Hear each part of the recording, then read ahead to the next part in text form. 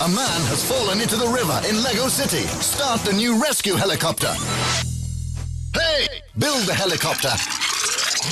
And off to the rescue. Prepare the lifeline. Lower the stretcher. And make the rescue. The new emergency collection from Lego City.